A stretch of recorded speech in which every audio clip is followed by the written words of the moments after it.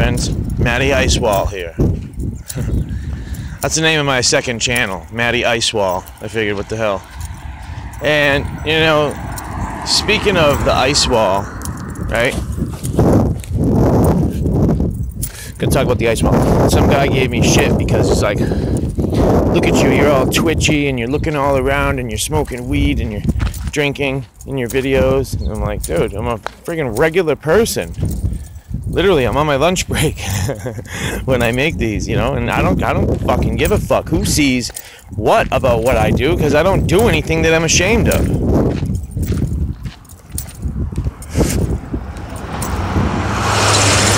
That being said, the ice wall, right?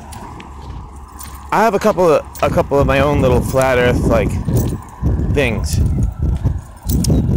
One is, I mean, I live on the ocean. I live on an island, so I get to see, uh, you know, the furthest horizon you'll be able to see all the time. And I've seen shooting stars almost always. They're almost directly above, or they're, you know, maybe two o'clock when you your vision. You know what I mean? They, they're not, and they always coming down or across. You'll never see one go up a shooting star. Never. I've never seen it. And I've never seen it on video. And I've just never seen it. And you should, I believe you should, if it's the way they say it is. You should be able to see shooting stars going in all different directions, coming from any and all directions. But that's not the case. It's it's, uh, it's definitely different. But um, the ice wall. Anytime I've ever seen pictures of the ice wall, I've never seen a picture with the sun in the frame. Do you understand I mean? It's always like as if the sun is to your back, which it would be if you're looking at the ice wall and it's the way we think it is. You know what I mean? Like I just I have I, every time I look at picture or video or whatever, I try I look and try to see the sun uh, or, or not the sun, but to see the shadows of where the sun may be. But the sun's always to the back, always. I've never seen a picture of a so-called glacier, because that's what they call the ice wall. They say that they'll mix the two up too. They'll mix the north and south up intentionally. They'll say that the glacier is like the ice wall. They'll say that that's what's up in the North Pole when it's it's not. It's it's not all. Uh, another thing. It, it seems as if the water at the ice wall is calm. It seems as if there are no waves crashing into it. I mean, I could be wrong. I, you know, just based on what I've seen.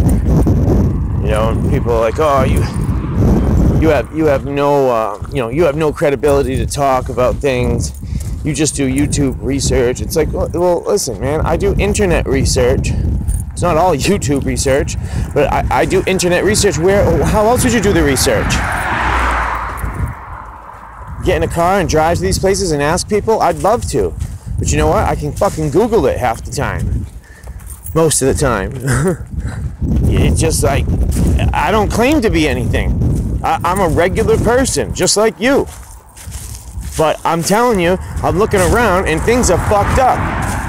I mean, I just get the feeling that the bottom's gonna fall out from underneath this whole situation real soon. Like everybody south of us is like approaching third world country status. And all those people, those refugees, they don't mind. They're accustomed to living that way now, and they're all coming here. They're gonna fucking bring this place down. It's not that. It's not their fault. It's the design, you know, of what's going on. I mean, what would you do when you come here? What? You add millions of people to America that don't have jobs. What? What happens? You know what's gonna happen.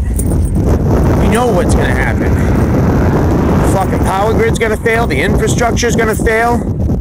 And they're gonna have to come save everybody, but they're not. They're gonna allow this place to implode.